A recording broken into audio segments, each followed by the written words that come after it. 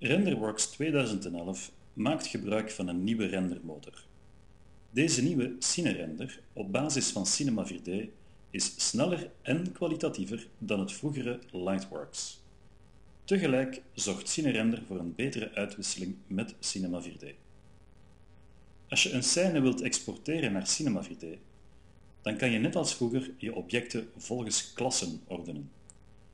In dit voorbeeld koppelen we aan de klasse een groen renderbox materiaal. Als je RenderWorks 2011 hebt, dan kan je het nieuwe commando Zend naar Cinema 4D gebruiken om je scène rechtstreeks te openen in Cinema 4D. Kies de optie Creëer een nieuwe scène. Vectorworks exporteert nu de volledige scène, inclusief lichtbronnen, camera's, renderinstellingen, materialen, groepen, symbolen, klassen en ontwerplagen. Vectorworks-klassen worden in versie 2011 vertaald naar layers in Cinema 4D. Het overzicht van die klassen, of layers, vind je terug in de layerbrowser.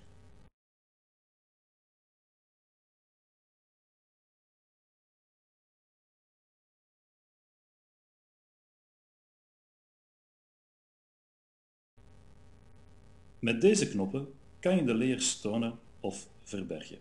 En in dit voorbeeld verbergen we alle layers, behalve de klasse of layer, marmer wit. Het groene materiaal willen we nu vervangen door een gedetailleerde marmertextuur. Eerst gaan we alle ongebruikte materialen uit de scène verwijderen. Daarna openen we de Content Browser en dubbelklikken we op het gewenste materiaal om het toe te voegen aan de materiaallijst van onze scène.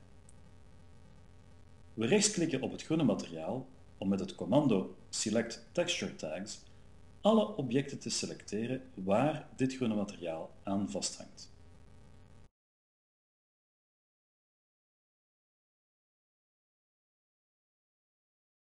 Het materiaal in de texture tags kunnen we makkelijk vervangen door het nieuwe marmermateriaal in het materiaalveld van de Attribute Manager te slepen. We moeten nu alleen nog de materiaalprojectie wijzigen in Cubic. En zoals je ziet is ons groene materiaal correct vervangen door een marmeren textuur.